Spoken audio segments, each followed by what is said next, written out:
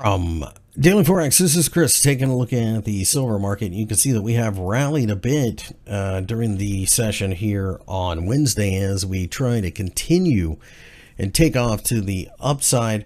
Uh, really, a lot of noise above at the 200 day EMA. You're probably going to need gold to help you along as well, so keep that in mind.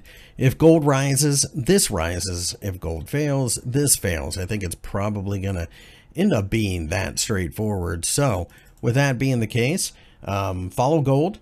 If we can break the top of this candlestick, I think we go to the 200-day EMA. If we if silver can break there, that's a very strong sign.